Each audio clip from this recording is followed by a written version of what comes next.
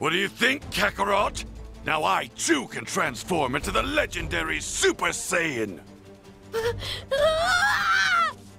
Oh, I see. This little guy's a Namekian. To bring everyone back to life, I have no choice but to take down Vegeta. What are you waiting for? Turn Super Saiyan! Or would you rather just lay down and die?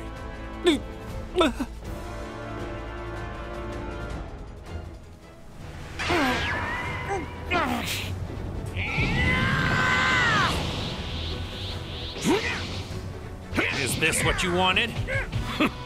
Indeed.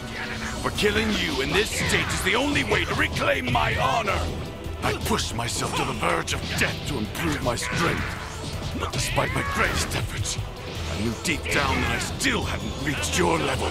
But then, out of the endless rage invoked by the humiliation you left me after our last battle, I became a Super Saiyan and killed Frieza with my own two hands.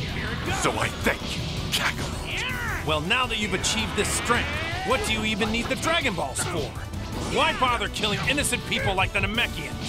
Simple, because the universe has no room for the weak. So why don't you join me? Nothing will be out of your grasp. What do you say, Kakarot? I have everything I could ever need, Vegeta.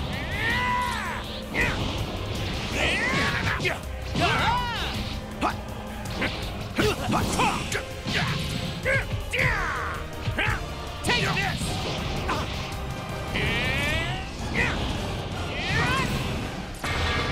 Let me see what you got. Here it goes!